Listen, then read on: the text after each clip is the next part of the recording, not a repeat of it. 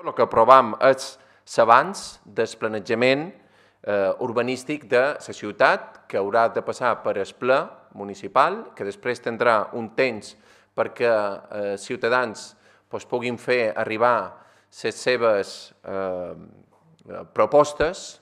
El projecte que presenta de planejament urbanístic aquest equip de govern és un projecte de lo més transparent i participatiu en temes urbanístics, que això és una demanda de la societat.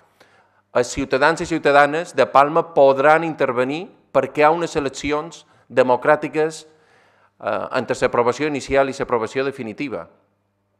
I sobretot, la proposta que feim, com ha estat el nostre compromís, és que sigui una modificació que no suposi incrementar les necessitats de l'Ajuntament eh, a l'hora d'haver de demanar un increment d'impostos per fer viable aquest, aquest planejament urbanístic. Per tant, és un planejament urbanístic que permet no haver de pujar impostos i, per tant, permet la congelació de, dels tributs.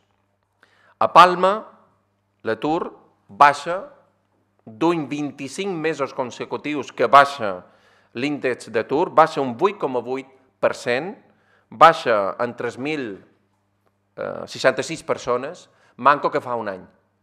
Per tant, és un indicador positiu. Si ens comparem amb fa un any, si ens comparem amb l'any 2011, dir que l'atur baixa quasi un 14%, exactament un 13,45%, baixen quasi 5.000 persones, l'atur a octubre del 2011 era de 36.910 persones, l'atur a l'any 2014 és 31.944. La xifra és insuficient, ho deim.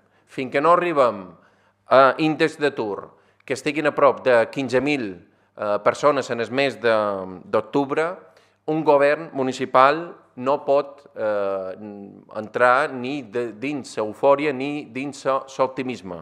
Però sí que prudentment, sí que poden ser optimistes prudentment en dir que després de 25 eh, mesos eh, s'està consolidant aquest canvi dins l'economia.